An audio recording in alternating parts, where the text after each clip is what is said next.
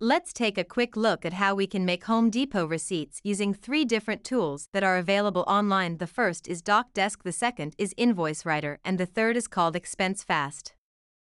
You are able to quickly edit and modify the receipt templates that are available within these online receipt generator tools.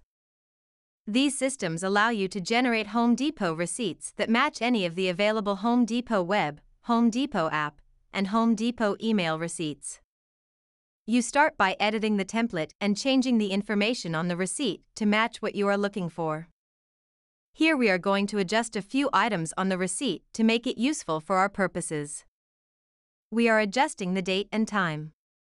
Then we are adjusting the store name and location. Then we will then adjust the price of the items purchased to match the receipts that we are wanting to make. You can make receipts for any purpose.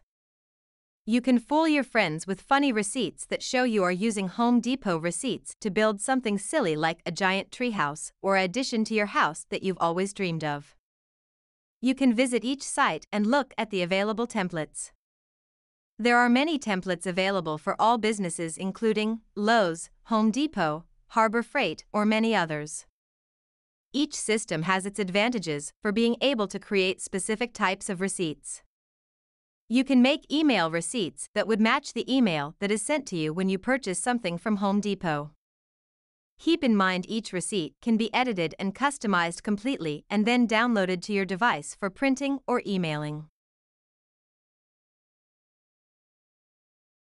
Again, here is another example of editing a receipt template on the Expense Fast system.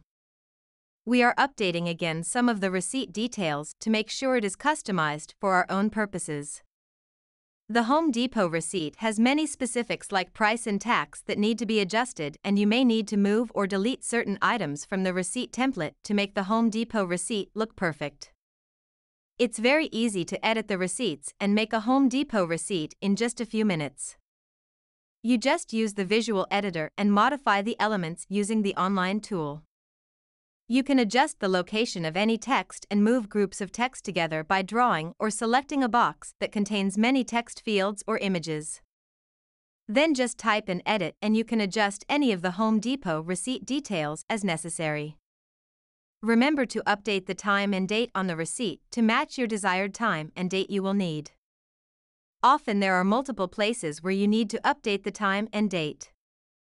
Once you are finished perfecting your Home Depot receipt, you can save the receipt to your account and download there you go. Hopefully, this is helpful and you can begin making Home Depot receipts or other receipts right away.